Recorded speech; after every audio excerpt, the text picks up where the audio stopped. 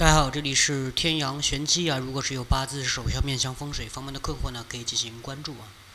孩子啊是血脉的延续啊，是未来的象征，也是上天赐予的礼物。现如今社会因为经济这个条件和身体状态等这种原因吧啊，使得现在很多人宁愿呃做丁克一族啊，也不愿意要孩子。但是有些人呢却想要，但是呢不能如愿啊。那么今天呢，我们来从手相的角度来看一下。哪些女人的子女啊，跟子女缘分比较薄啊？首先一个呢，指甲没有光泽啊。其实呢，人身体的健康状态啊，很大程度上能从小小的指甲可以看出来啊。指甲没有光泽，不仅代表呢身体缺乏微量元素，而且呢，这个也是说明啊，该女子的身体不具备良好的孕育条件啊，跟子女缘分比较薄。第二个呢，从手相的角度来讲是没有结婚线啊，没有婚姻线。婚姻线呢不像感情线那么明显，但是呢，尽管它的这个不会引人注意啊，但是呢，还是大多数人呢对它的存在呢，这个也是非常的关心啊。婚姻线影响的是恋爱、结婚时间等等方面。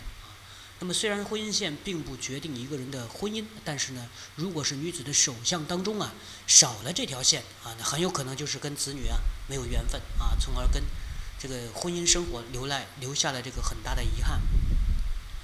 还有就是腕横纹啊，腕横纹有断裂或者模糊不清啊，腕横纹就是手腕的这个横纹啊，这里有断啊，或者是这个模糊不清啊。那么往往是运势会更加的这个，会跟子女的缘分呢比较薄，比较浅薄啊，这种模糊断裂的情况。第四一个呢，就是生命线的底部啊，啊，就是末尾尾端啊有断裂，啊尾端有断裂，纵横交错啊。我们这个熟悉的婚姻线、感情线、财运线、生命线、健康线、智慧线等等啊，生命线呢不仅代表这个。健康的状态也能体现出这个突发的一些事故，包括一些病变啊。如果是女子掌纹当中生命线尾端出现断裂啊啊这种断裂，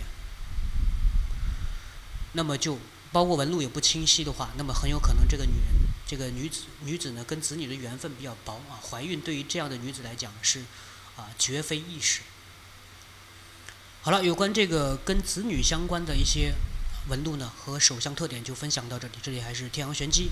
如果是有困惑，可以进行关注啊。我们下期再见。